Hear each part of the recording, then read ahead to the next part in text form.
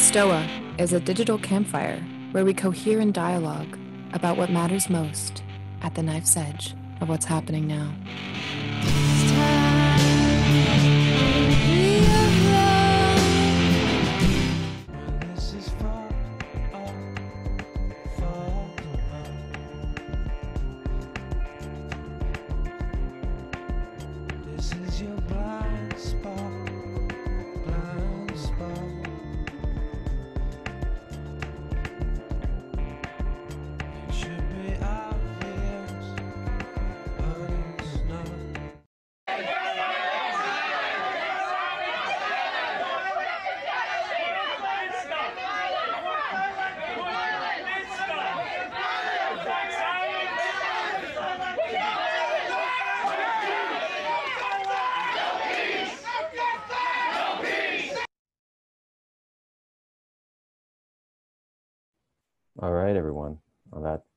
Note, welcome to the STOA.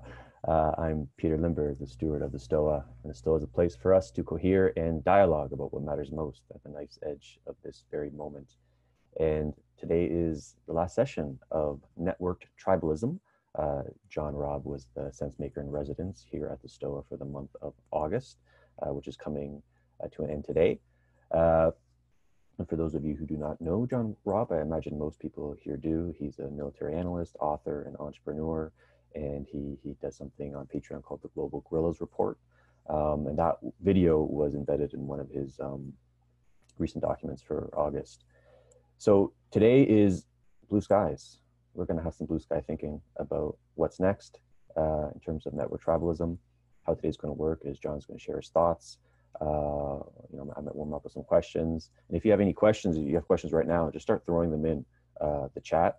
Uh, the, the first 60 minutes uh, will be recorded. Then we'll stop. If you have to go, you have to go. Then we'll have a, a kind of a more intimate sense-making session for the remaining 30 minutes. So that being said, I will allow John to unmute himself and take him in. Good morning. Hey, good morning. Thanks, Peter. And thanks everyone for showing up. Uh, wow, it's been a heck of a month. um, what I'd like to do is maybe, you know, review where we're at right now, and then uh, let's talk about potential solutions. Um, the solution set's pretty hard, uh, but um, it's going to take some bold thinking in order to get us out of this predicament. Um I wrote a report a couple years ago called "The Online War," and it was about, you know, how online warfare works uh, as opposed to traditional forms of warfare. Um, Boyd, uh, John Boyd, probably America's greatest strategist, once said that you know war is a contest between minds. Typically, that means you know between opposing generals or opposing leadership, uh, cadres um, running in nation states or running organizations. Uh, the difference is today, in the online world uh, and online warfare, uh, it's a war of every mind against every mind. Everyone's a participant. And this goes back to uh, Marshall McLuhan in the 60s said uh, that uh, World War III is a guerrilla information war where everyone is a participant. There's no dividing line between civilians and the military. Um, and that's certainly true today. We're all participants in this conflict. And uh, what is it over? And it's pretty clear to me, at least what I did in this report and what I've been writing about since, is that this is a war over control of societal decision-making processes. Uh, without all of the uh, tr traditional abstractions that are usually involved in, in that conflict, where we'd have, you know, nation states and militaries and agencies doing war for us, you know, at a, at a distance, we're now actively engaged in this. And to a smaller extent, this has occurred um, in previ previous civil disturbances and, and, different, you know, cultural overhauls. Um, but uh, this is a ongoing process for control of the whole thing, because this is a because due to the way the technology has been developed, the technology makes it possible to change everything all at once, particularly through AI censorship and molding and modification of how we converse, how we interact, uh, how we form organizations, how those organizations act, uh, how the money flows, what are the you know different outcomes. This is all the a, a war for control of that. And whoever wins gets to set the terms for not only uh, immediate gains or losses, but potentially for you know decades, centuries beyond this. Um, all right, so where are we at right now? Well, uh, the, the online war is intensifying. And in online warfare, in this kind of conflict, uh, the physical battles that we see are uh, punctuation marks in an ongoing online uh, uh, conflict. Uh, it's not the primary, it's not the center of gravity for the conflict. Uh, it's meant to drive online opinion one way or another, or, or sentiment, or reduce the cohesion of the of the opposing force. we've seen an intensification this month, and you know, starting with the Kenosha, and then you know, Kenosha um, featured you know the uh, the uh, uh, young guy uh, Kyle Rittenhouse that, that that was recruited into a militia uh, and wanted to be a policeman, wanted to defend property, ended up getting in way over his head, and then interacting in a you know obviously in a, in a violent way with with protesters, um, killing two guys. Uh, violent interaction was depicted by each tribe in their own way. Uh, the, the opposing force in this, you know, it, to the tribes on the left was that Kyle was a, a terrorist. Uh, he was an example of kind of a Nazi or fascist uh, militia. And then the other side, uh, the, uh, the, the right side portrayed him as a, a, hero or a patriot, that he had done nothing wrong. For, uh, in terms of the, the social networking, the social networking companies, uh, you know, punished or deleted anyone who said that, say, uh, Rittenhouse was, had done nothing wrong, took him off of Twitter. Uh, Zuckerberg apologized for not taking the militia advertisement off. Uh, their, you know, inability to kind of maintain the status quo was uh, was being a, a question.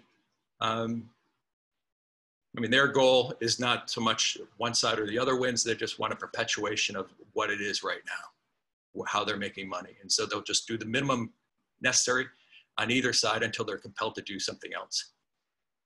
Um, and then that was followed up by a, a shooting from the from an Antifa killing a, a militia member for slinging paintballs.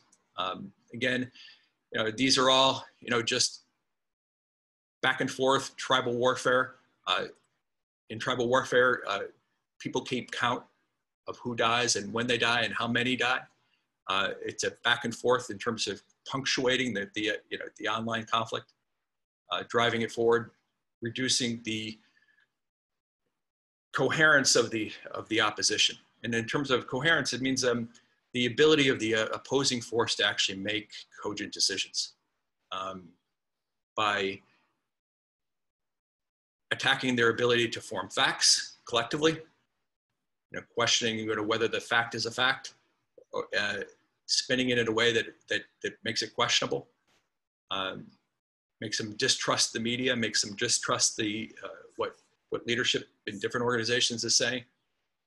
Um, and then that the process of actually resolving uh, the issue in, in, public is, is, is flawed, uh, is tainted. Uh, both sides in this case were saying that the, the legal process would be subverted, uh, that the media would handle it incorrectly, that the government would, would, would twist it and turn it. In many respects, that's occurred. Um,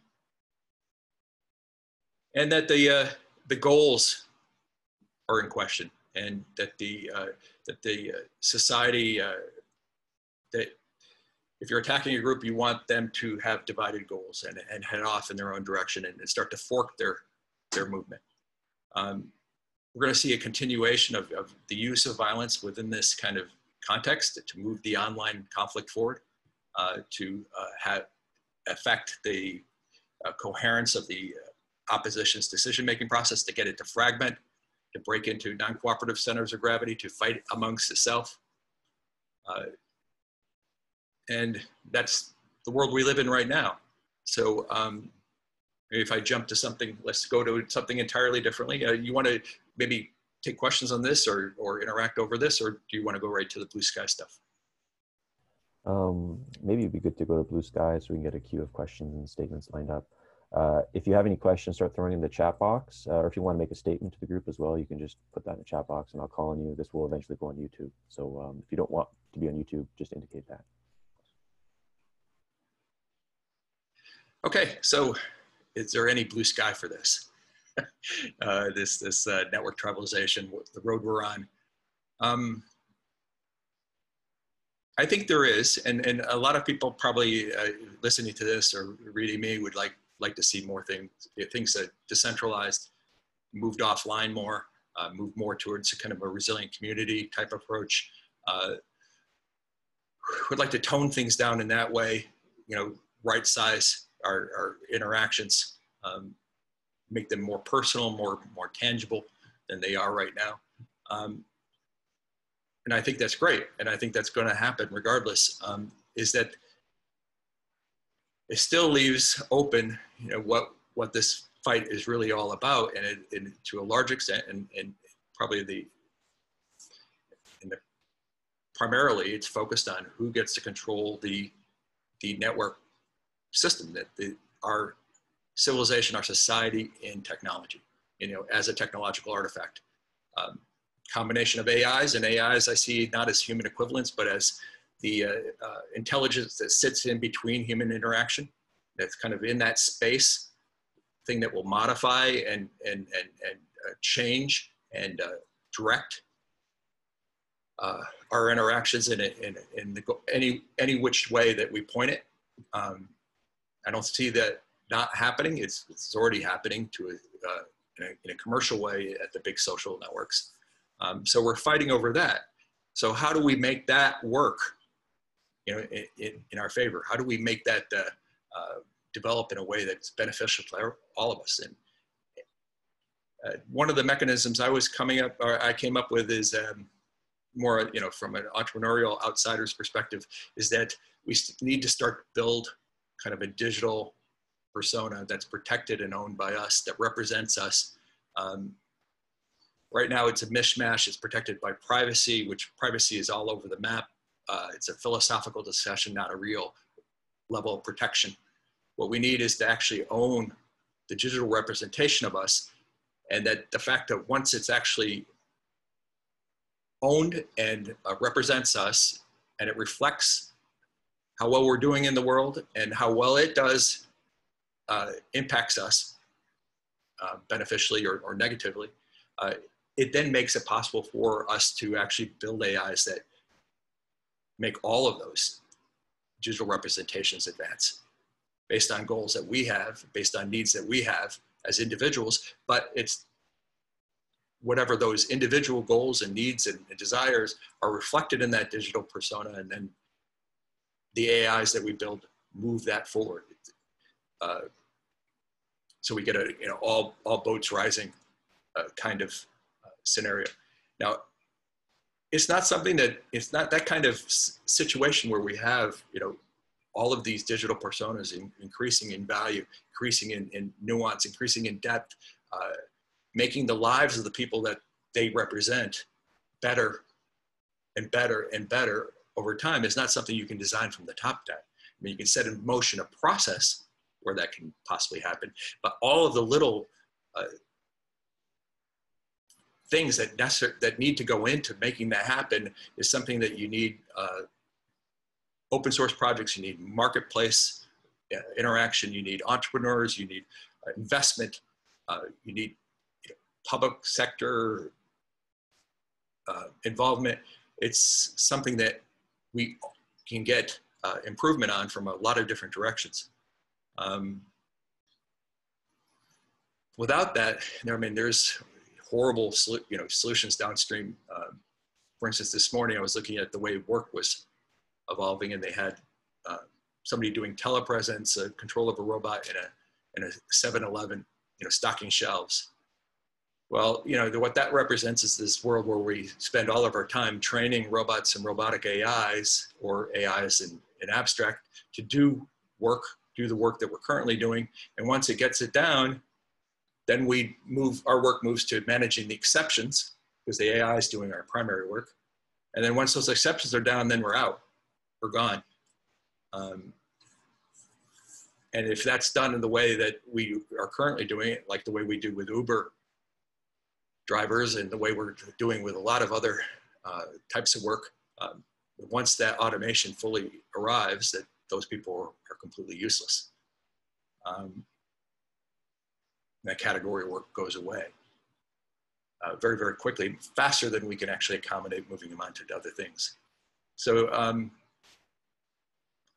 so the digital persona approach is, is possible. Uh, another approach is to find uh, ways to uh, use this, uh, this, these online uh, AIs to just containerize our discussions, our public discussions, to regularize them uh, without constraining them so much so that based on you know uh, which tribe you're you're part of, uh, that the uh, there isn't a dissent function in the way we operate as a society.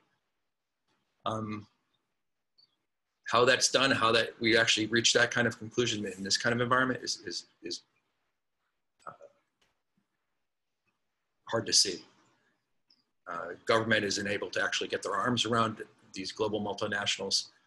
They treat them um, with a lot of deference. And the percentage, for instance, of, of the business that Facebook does in, in the US is, you know, as part of their, you know, global operation is declining on a daily basis. They may, may not be adding more customers in the United States, but they're adding uh, 500,000 new users a day around the world. So um, the ability of any given nation to actually leverage change on the platforms is, is decreasing with every day. Um, so there's just a couple ideas to kind of get people thinking if, if it makes sense at all. If you guys, uh, one thing I suggest you maybe you, you look at is look at the uh, selfish ledger. There's a, a great little video that uh, Google put out, um, or was put out for Google. Uh, it's, on YouTube. It's worth watching. It takes the selfish gene concept and turns it into a, a, a selfish digital representation and I take it and, and change it into a kind of a digital persona that then can be acted upon by AI to, to uh, uh, make things improve for us. Is that good? It should, should get some discussion going. Um, yep. I know I'm only on a second cup of coffee, so my brain is still operating like at half speed, but maybe if I get a couple more, I'll, I'll be zooming by the end of the discussion. Cool, cool. That, that was good. Um, so we have a bunch of questions already. Uh, I will read uh, Philip Chen's because it's uh, something that I'm interested in. He asked me to read on his behalf. Um, what is your view of Game B? You know, Jordan Hall, Jim Rutt's term Game B, uh, or the adjacent meta modernism that aim to be like meta of all these ideologies. Uh, how do you think they're likely to be pulled down into the culture war and this cancel culture uh, phenomenon? Yeah, metamodernism. Um, I've tried to wrap my head around it. I just operate too much in the operational. It has to be more tangible for me. Um, and I, I, it's, I can see the need for a transition, but um, I don't think we we have the luxury of waiting till everyone becomes metamodern or, or has the ability to handle all the complexity of the current environment. So we have to deal with what we have now and um, how people operate now and how people uh, will make decisions now. Uh, so um, that's what I'm trying to address in what, what I'm doing, um, rather than getting too far into the theory crafting. You know, I found in, in, in doing, you know, uh, strategic theory or warfare theory, uh, it was very easy to you know, get ahead of the development of warfare, the way it was operating in real life. And then you get into this theory space and you could, you know, wrap yourself around the axle. It's just like, it's just, you're, you're really just debating, you know, how many angels can dance on the head of a pin. You know, it's like useless. Try to tie everything back to something that's more immediate. I actually have to see an example to really, or two or three or four to actually feel, get an intuitive feel for how things are developing, get an orientation for, uh, for it. Uh, you know, like the OODA loop, you know, observe orient, orient being the most important step. that's very intuitive often. And you get a, once you get that intuitive feel based on example and tangible evidence, um, it's e- easier to kind of build the theories that match that. I'm sorry. Go ahead. Um, yeah, that's uh, that's good, uh, and I, I concur that uh, can quickly get untethered from reality when you're in meta land. Um, so let's start with uh, Hal. You had a question on journalism. No, uh, no, I can I can speak this aloud. Go ahead. Um, so this is just me as a question is because I'm a journalist. I'm moving into. Uh, I'm actually moving. I just graduated. I'm moving into the one question. So there's multiple questions I have. One is nobody seems to have the same set of truths. People believe that like oh if you believe Fox News is now different reality from New York Times. But then there's literally the question of okay even the coronavirus is like is this a seriously big deal? Is this not a big deal? So one the one problem is that we're just in this environment where postmodernism and as well as like tribalism has basically removed any sort of baseline truth. And maybe that was always a fallacy to begin with. Peter Pomerantsev in his book talks about the idea that there used to be this big truth represented by the BBC if you were a Soviet dissident, but then the BBC was one partisan in that twofold war. And then the issue of objectivity versus commitment kind of comes in almost professionally because I want to get a job at a neutral news organization, maybe if those are the ones offering jobs, but at the same time, I, I have I'm committed. I think the writer does have a responsibility. I mean, that was Sartre's whole idea. The writer has a responsibility, as well as just the whole idea that people want to write opinions. Is the idea of objectivity even a thing? At the same time, if objectivity is not a thing, how do we come to a basic set of facts? Is that possible? More difficult or more impossible if you're coming from a partisan view? And finally, the promotion defense of free speech versus big tech, and the question and cancel culture. And the question here is that um, I personally support. Uh, I'm personally a First Amendment absolutist, but at the same time, you also get an issue of uh, okay, why do people do this? Is free speech defense just going to be partisan? So you're always going to say, let's let's not beat around the bush. You're always going to say that you defend this because you're in that similar position. You're not going to defend it saying that I just know most people aren't going to be like I support free speech in general.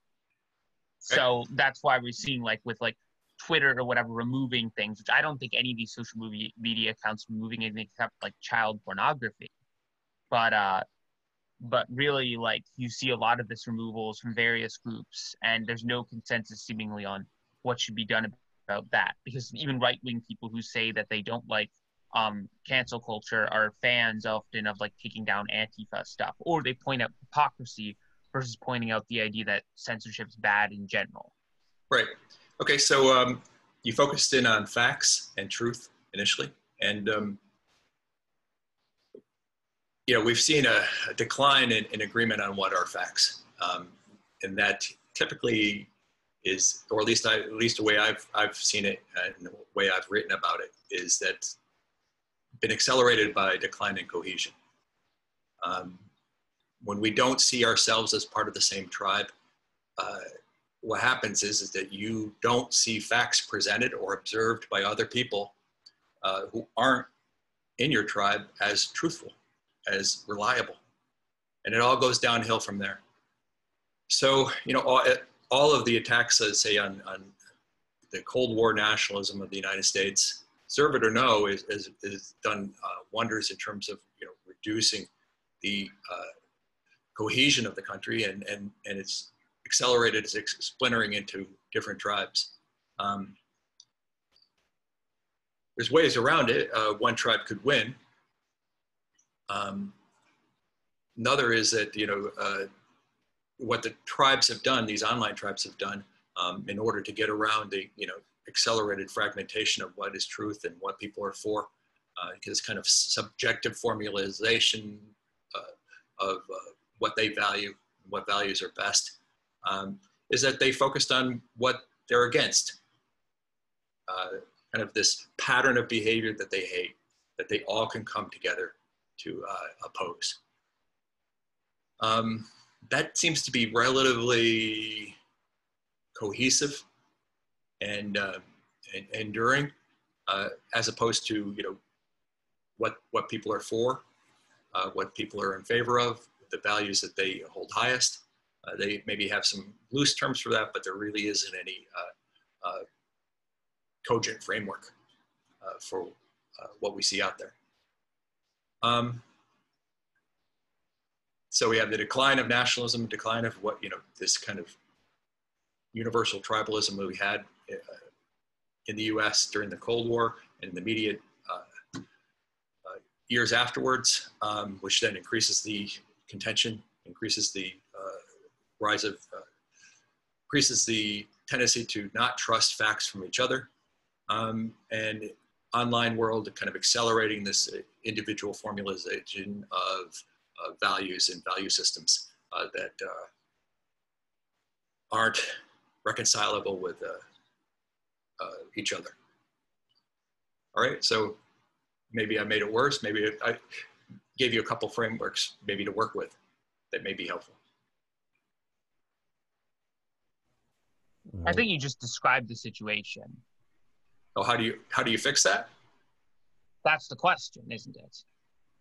Yeah, I mean, one tribe wins. Or we uh, uh,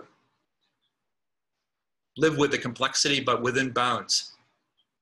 So um, we, li- we work with the uh, social AIs, we bound it. We bu- so those AIs will bind our, our conversations within uh, kind of an acceptable, you know, uh, area. And um, then we hash it out in there. And uh, uh, it will be messy, and we just learn to kind of develop this thick skin necessary to actually operate in that um, environment. Very much so that, you know, it's very similar to uh, when we uh, saw advertising on television. Advertising had a, a you know, extreme influence on people in the early days because they just didn't have the uh, filters necessary to actually deal with it effectively. Um, so they put up an advertisement, go buy this, and people would go buy it. Um, and over time, we developed filters and we became uh, insensitive or desensitized to that kind of uh, influence. And um, we got used to it. And it didn't bug us as much. And we learned to, you know, go forward with our lives even with this kind of this influence being uh, uh, put on us on a, on a daily basis. So we're going to do the same thing potentially with, with this you know, complex online environment. That help at all? So you think we, but have we learned to deal with ads? I mean, ads have just gotten more and more sophisticated with like micro targeting and all that stuff. I mean, that just feeds into all this also. That the ads are not really universal either. They're all directed. Uh, they're all directed at us personally, often based on our tribes. I mean, think about like Nike or something like that. I mean, that's even that's not even on a very individualistic level, but that's still playing into the culture wars. Yeah, because they work so badly on the general scale, they're trying to go onto the individual level. Um, but they're only you only get that kind of micro targeting through AI development, and it's really a question of whether or not we let AI be used in that way. All right. Uh, next question. Paul, uh, if you can unmute yourself and ask your question. Yeah. Um, so sort of similar to the one that I asked last week, but I guess in general, politics is obviously tra- trailing technology by light years. Um, but one thing I think politicians have understood for decades is tribalism. Um, to what extent do you see them being unwitting participants in this new version of it? And to what extent do they capitalize on it? Yeah, um, I think they've been pretty quick to kind of join in. I mean, the Democrats have been pretty silent as the the uh, the protests have intensified, become more violent. Um, they're riding that wave, and uh, they saw it as a you know an ad to their uh, campaign, um, and that you know Trump is now fully engaged. I mean, just like uh, I think it was last night, you know, he tweeted support for the uh, uh, the guy that was killed in, in Portland, um, and um, this, you know, violent tribalism is being incorporated right into the campaigns as we speak. Um, but they're puppets of this. Um, they're not the primary drivers. Okay, and uh, you know, they can participate with it and they can catalyze it and they can, um, as Trump did during the 2016 campaign, is that, you know, he, he was good at catalyzing it and good at uh, leveraging it, um, but they're not the primary drivers of these, these online movements. Um, and they can go in directions and take, push them in directions that uh, uh, they don't want to go in. But uh, there will be plenty of opportunists. This is the first round, and uh, as people get smarter, they're and more power hungry. They're going to glom onto these tribes and, and play them for all they're worth. that, that sort of plays into an idea I, I'll I'll post more on the discord at some point but um, i've thought of these tribes as cults without cult leaders and, and sort of similar dynamics Yeah, open source uh, leadership of an open source movement or open source uh, uh, insurgency um, is is very contingent. Okay, so in a protest or, or a political situation, it's if you're moving the insurgency or if you're moving the movement toward its goals, you're accepted as a leader. The moment you stray, the moment you try to take it off based, based on your principles or what you think is right, or uh, you know, in a direction that you think is going to be beneficial to the movement, that the movement doesn't uh, see as beneficial, then you're going to be cast aside. It takes 10 seconds to just go away.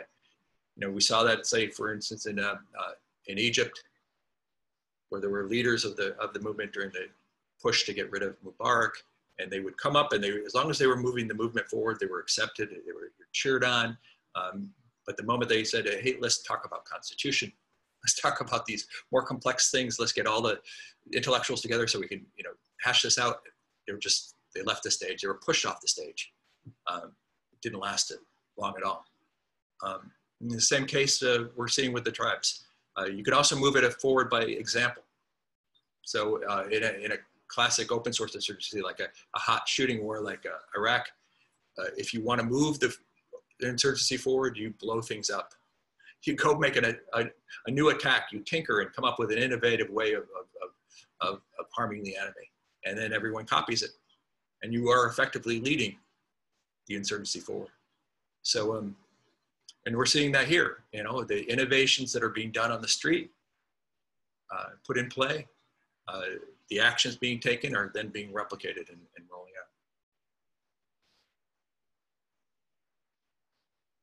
All right. Uh, Kyle, you had a question?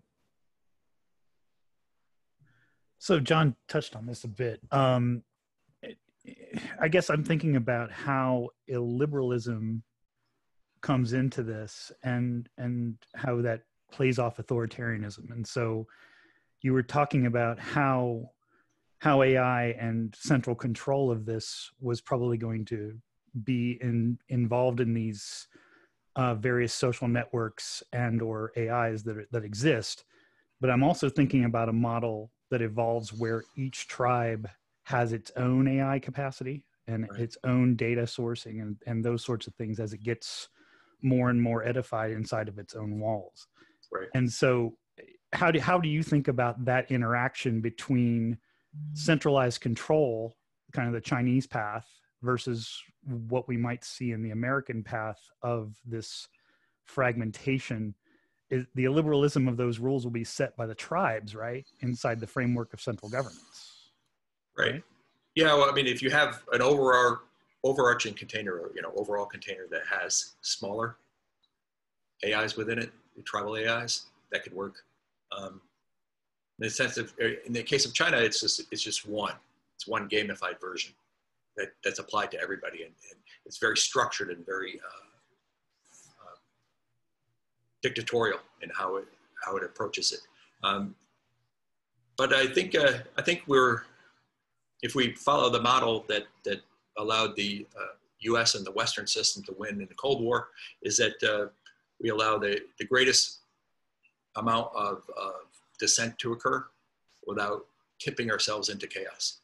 Um, and, and in the commercial sense, that's done through a free market and then in, uh, not a directed market. Um, and free speech adds to that. And in this case, uh, it would be an AI that just has a very wide border uh, that uh, stops uh, violence from occurring or stops e- e- extreme change from happening, you know, uh, overnight. It keeps us within complexity rather than tipping over into chaos. Um, what that looks like, I'm not quite sure. And I think though that if we're going to do this, we uh, if we're going to survive this, we're going to have to figure out what that is. Um, it's going to be messy. It's not going to be something that everybody agrees with, but I think it, it's something that probably need to have happen. Um, well, everybody I mean- believes in liberalism for their Yeah. own tribe, right? And Right. and the problem is that if if your words offend me from another tribe, I think you should be shut down, right? And depending on the level of my identity and whether or not I have multiple intersectional connections and and how that all fits into various memetic tribes. Right. And so how how how who's the who's the the the what's the center of gravity for liberalism inside of all of this and that's where i keep on losing losing it squeezing sand right it's all Right. going through my fingers it it it feels like that ought to be the thing we're all holding on to um but that's not what we're holding on to the more identity we have Right. Yeah. I mean, traditionally, identity has been the kind of the short bus of history, right? So it's like the the it's the thing that rips things apart and and, and causes everyone to spill tons of blood.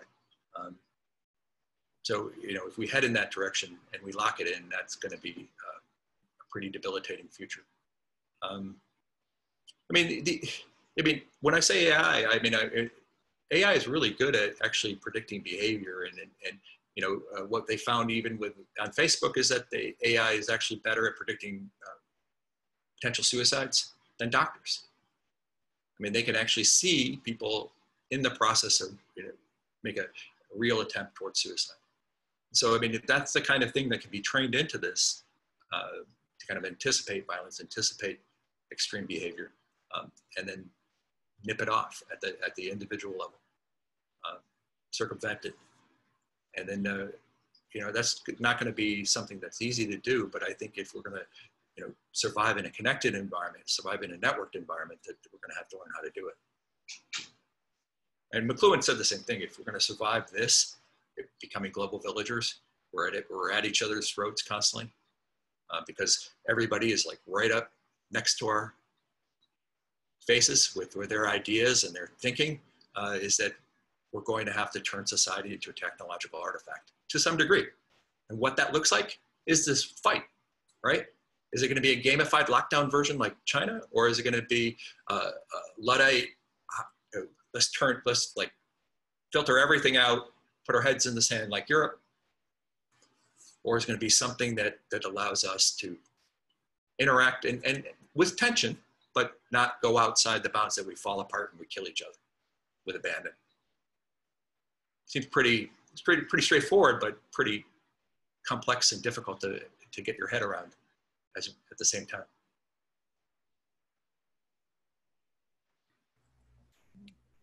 Dennis, you had a few questions on OODA loops. Yeah, I'd, s- um, I'm actually in my class today going to talk a little bit about OODA loops in a different context. But as I was thinking about them this weekend, it sort of seems like all of us, uh, I mean, all the inputs are cycling so fast. You know, it's like, it's almost a joke that, you know, like this thing that happened three days ago feels like it's three months ago. Right. It sort of feels like we're all being overwhelmed within those loops and and that the, the easy way is to kind of kind of go with the tribe view and stay within that zone just because it makes it simpler for you to do so that's an observation my question is that i i i, I really love the mental model of the OODA loop, and I, I just wonder if John might have some thoughts on um, how you can kind of use the OODA loops in a better way to kind of uh, uh, figure out uh, what you need to know and how to uh, uh, to interpret what's happening in the world and then to act on that. Yeah, uh, part of our rewiring is that we were moving from traditional forms of information processing towards a pattern matching approach and a collaborative pattern matching approach. And that's affecting the OODA loop. Um, it speeds it up um, and then it directs it. it. It dictates the pattern that you're curating with other people. Say it's, uh, you know the government is is fascist and everyone in government is is trying to institute a fascist vision would be would be shared and that's the orientation that you're operating from um, and that would dictate you know what you decide to do and, and how you act collectively. So can we do something to maybe break that slow it down? Um, mostly i think we could probably do it in in, in online today by trying to slow down these uh, what i call empathic triggers these these videos uh, these little bits of information that, that then are immediately put into these patterns. Um, find those very early on and, and slow them down, allow them to be processed effectively. Because right now uh, they're being used to generate more tribalism and their empathic connection to the victims is then uh, creating a, a, tribal connection uh, and that then becomes selective tribal or selective empathy. Uh, you have complete empathy with the, the, the, group being attacked and you have zero empathy uh, you know, negative empathy for the, for the attackers.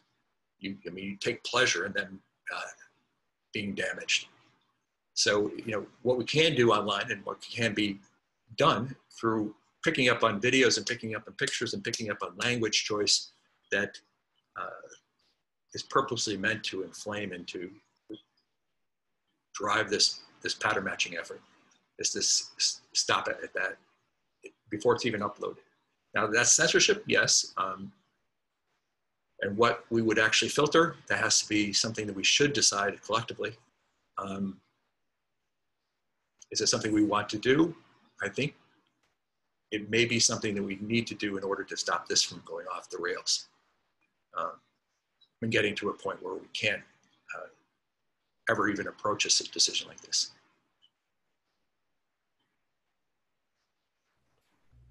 I'm curious what your thoughts are on deepfakes, just kind of like an outside question, um, and the implications. On, on what? Deep deepfakes. Oh, deepfakes. Um, yeah, I don't think they're that important. I mean, you know, it's like, I mean, we could we could take the same fact now and and spin it two different ways, or three different ways, or five different ways. I mean, we don't need a fake in order to do that. I mean, fakes can can be added to that. Um, you can have a video of somebody saying X, Y, Z, and, and that's like extra. But it, I think I think uh, in order to have the maximum input or maximum effect, it has to start with some kernel of truth that it happened, and then it's spun, and then it's pattern matched, and then it's fitted.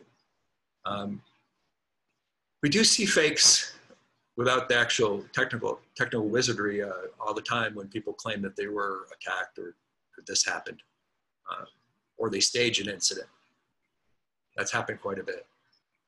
Um, oh, I mean, it's like the, uh, uh the Israeli teenager that was uh, from from Israel through a satellite link did the 100 plus uh, bomb threats to the JCC back a couple years ago, Jewish community centers and it caused a huge ruckus. But it was like that's a staged event. That's event, essentially a deep fake without the technical element. Um, that is, you know, could be automated as easily as, a, as, as you would in terms of generating a fake video.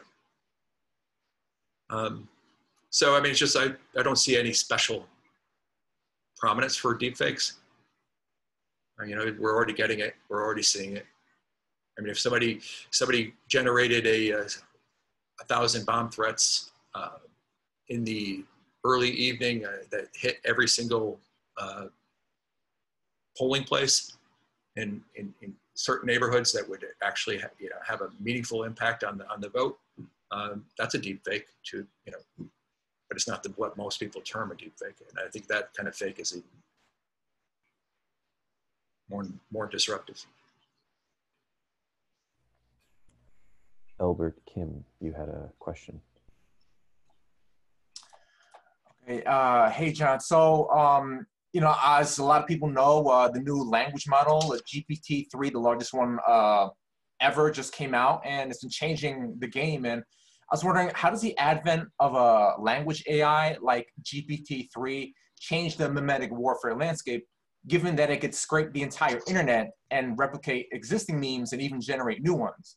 uh, the way that I, I- something I could see happening from this is that we could have a fully automated Memor completely removed from human input that feeds back on itself. So I was wondering what you thought about something like language AIs. Yeah, um, I see that kind of top-down efforts trying to, you know, you you you direct the AI to do this um, tend to be less effective than the uh, the bottoms-up efforts. Um, we're already generating memetic wars and and, and uh, um, online wars through participation of millions of people uh, generating content, generating uh, amplification. Um, how a, an AI would, amp, you know, fit into that? I'm, you know, in, in this one in particular, I don't see it adding a lot of value. Um, I do see a potential maybe at the micro level. Okay, so uh, you know, you could build if if this was set out as a bot, uh, a, a set of conversations that would go about recruiting a small group and then getting them to buy in to a, a, mission or a set of missions that would then you know be terrorist in nature. So basically a virtualize a terrorist organization. Or you could do it say you know portray yourself as a as a you know a person caught a young woman that's caught or put in prison by by this this guy in, the basement it's got the hold of a phone and, and it targets and filters through uh, conversations online and finds vulnerable young men uh, play out a script a scripted dialogue. Uh, if you're playing a character with a limited uh, uh, view of the world and, and, and a, you know with dialogue constraints you can be very believable. Get this guy say the only way you're going to free me this violent guy is to come to the house and shoot him. Right ends up being a Supreme Court judge or something. You know what I mean? It's that kind of like in really devious uh, application of this kind of uh, uh, conversational ability or, or constructability of, uh, of uh, content. Uh, on the mass scale, it's just, I don't see it playing a you know primary role. I mean, it may amplify you know different sub elements, but I don't see it as the primary mover uh, we're doing a pretty good job of it uh, as is. We, you know, we have uh, what's a little over seven billion brains uh, that are better than any AI available to us right now. So, um, you know, we have plenty of horsepower out there.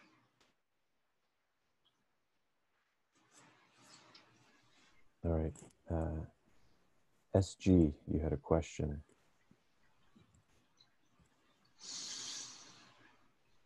You can unmute yourself. Hey, yeah, my um, my question is with regards to like where the you're, you're breaking up.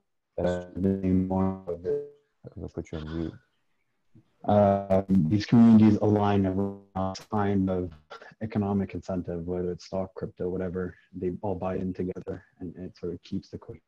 Um, does that become a, a, very effective tool for increasing the cohesiveness of it?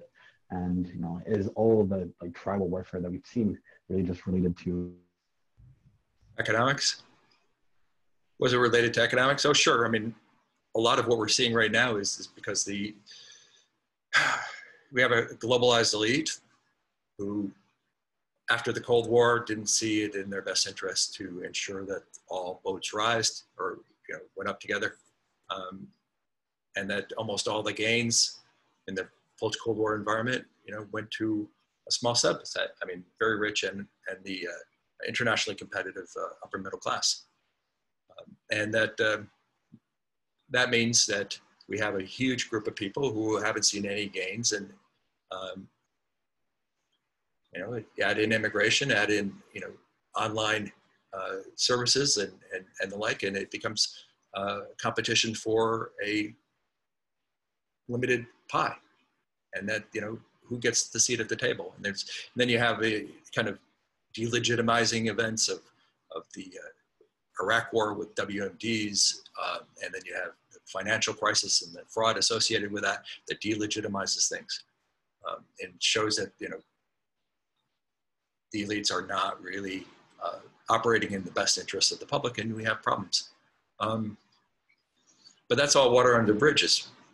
You know what ended up happening, and um, now we are where we are at. Um, is there a way to kind of regain a, a, kind of a common purpose nationally? Is there some way of, of building uh, some kind of common commitment to what we have together as a nation? Um, we may have, uh, you know, one thing I suggested uh, back in the beginning of the uh, COVID crisis is that we would, we could build this, you know, benefits of citizenship, uh, you know, contribute to the, the common good of all um, by uh, tying behaviors to a you you know emergency UBI. So you know a thousand bucks a month, and you get tested, or you wear masks, or you you don't engage in certain types of behavior that would be uh, uh, negative to moving the uh, uh, crisis to conclusion, um, and that there would be something that we all contributed to, and we all benefited from. Uh, it wouldn't be restricted. emergency UBI wouldn't be restricted by income. It'd be money coming in, uh, regardless of how much you make, and it would be based on you contributing towards concluding this. But if you're out walking around and, and or you know you host a party or you're at a party where there's people not wearing masks and things like that, I mean, it seems trivial, but that's something that could cost you money uh, on the UBI in this kind of scenario. And there would be like this, okay, you know, I'm getting something tangible for my contribution.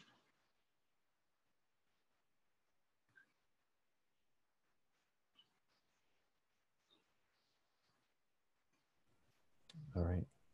Uh, Laszlo, you had a question.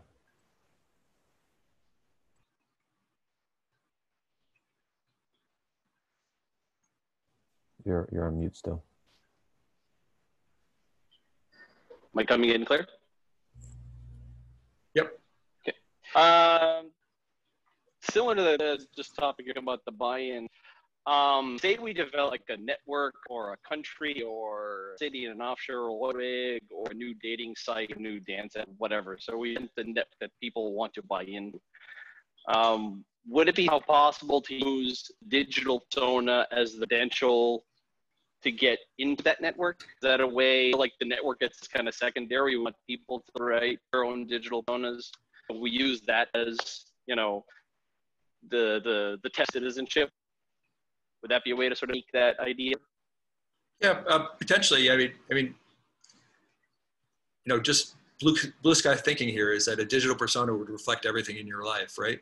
Um, I'm kind of the view if you're uh, you know, we're at the moment where the, you know, kind of the humanity is opening up its eyes. It's got a memory. It's, it's thinking collectively. Um, and that anything that's done offline is actually lost. It's kind of, you know, before you're, before it's born, right? It's just lost memory, lost contribution. And that everything you do online and that's captured online is contributing to that. Um, is that it would reflect your, you know, your income levels and how you're spending it, uh, you know, your quality of life, uh, your all the little nuances that, that can be captured and put into a digital form would be part of that. And that that would be something that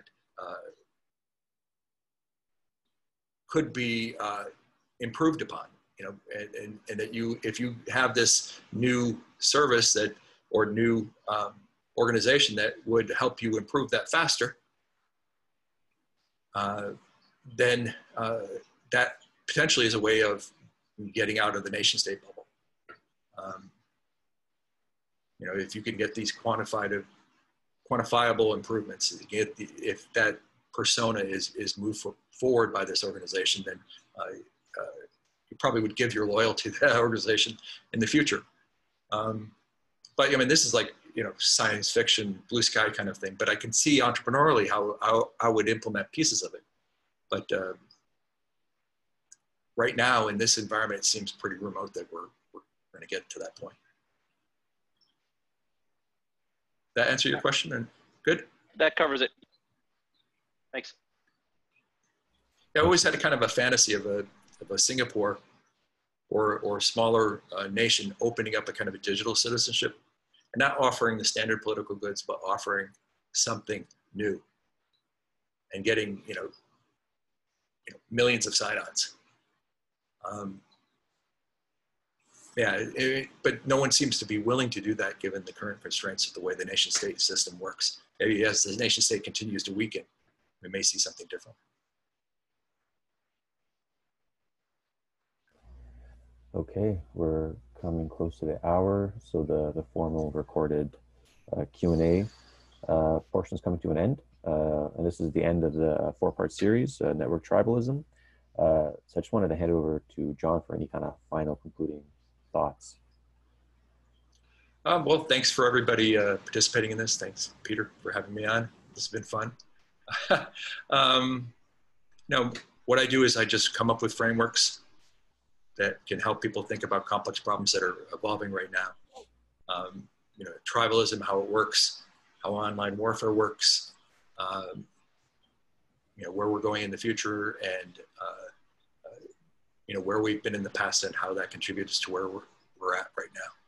So um, the idea with the frameworks is, is they don't have to be 100% correct. Um, they can, all they really are, are there for is to get you thinking, to get you unstuck. Um, because the environment right now is very chaotic and it can be overwhelming, right? And uh, uh, that tends to cause anxiety, makes you upset, makes you know people anxious. Um, they get frozen, and uh, a good framework can help you um, deal with that. And I'm pretty relaxed about it. I think the long term that we're going to do okay. Uh, it's just that uh, things look a little chaotic now, but um, we'll figure it out. We've been through worse. Well, thanks everybody, and I'll stick around to, if you're going to do a little conversation afterwards if you want. Yep. Uh, for those of you who uh, want to stick around after we press record, we'll take a, like a minute bio break and then we'll have like a 30 minute discussion. Uh, they've been quite fun and intimate. Um, and I'll close up with some upcoming events and announcements. But first, John, thank you so much for being the sense maker in residence, the first one, official one at the STOA. Uh, we'd love to have you you back, maybe in after elections. Let's see, uh, we're all still here. Um, upcoming uh, sense makers in residence are Dave Snowden, uh, Peter Wang, Zak Stein, Daniel Schmachtenberger, Daniel Görtz. Um, so you can check that out at the website. Real quick for a couple of events tonight, we have um, intentionality amidst chaos. Uh, this is this is an individual who does these Ward- Wardley maps. I think that's what they're called, and then figure out how to kind of navigate these chaotic times. You can RSVP there. And then Daniel Schmachtenberger is coming in. It's going to be an epic session. I think we have over 200 people RSVP to that on Dharma Inquiry. Um, if you want something a little spicy, a little dangerous, the, the most dangerous philosopher in the world, Alexander Dugin, is, is coming to the Stoa on September 21st. Uh, that might get uh, me in trouble, but hopefully not too much. Uh, if you want um, to, to figure out his the fourth political theory and maybe stress test it to the man himself, um, you can RSVP there. And if you'd like to support what the Stoa is doing, um, and I'll put John's Patreon as well. Uh, an excellent uh, Patreon. You can go here. Um, yeah, so that being said, thanks everyone. Uh, you can stick around. Uh, we'll go a one minute bio break before we restart the, the sense making session. I'll stop recording.